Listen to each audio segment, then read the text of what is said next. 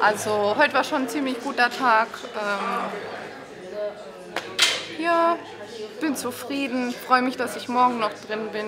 Ich spiele gern vor ähm, deutschem Publikum und äh, die pushen mich dann auch gut. Ging zu Juni. Ja. Meine letzte Begegnung war gegen sie beim äh, World Cup.